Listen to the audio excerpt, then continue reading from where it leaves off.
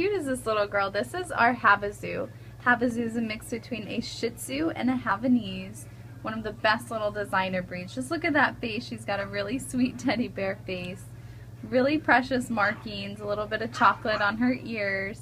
All white little body. She's got an awesome coat. Hypoallergenic, so no shedding or dander. This breed is very social, very fun-loving. She loves to give kisses. So if you're looking for a happy puppy to take home, this little girl's waiting for you.